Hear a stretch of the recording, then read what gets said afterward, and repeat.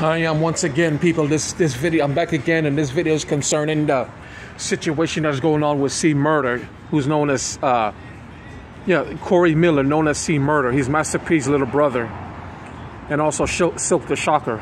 He's a rapper, but he was convicted of murder and sentenced to life in prison. Now the news that's going on is his health is deteriorating because of the conditions that are going on inside the penitentiary where he's at he's in prison and he I guess they're not eating his medical assistance or whatever, medical medical medicine, and they're saying that they that the state does not obtain, they cannot obtain the medication that he needs within that state. How can you not obtain the medication? I mean, I'm pretty sure you could get the medication from another state. How you know, boss? I'm pretty sure you could get the medication from another state. It makes no sense why people in that penitentiary is living that that, or in general in any penitentiary.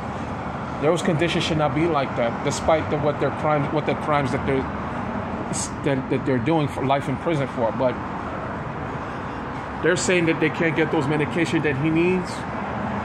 I don't know what's going on with those people.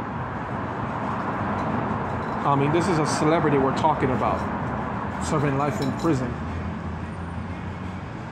But what is your feedback on it? Holla back.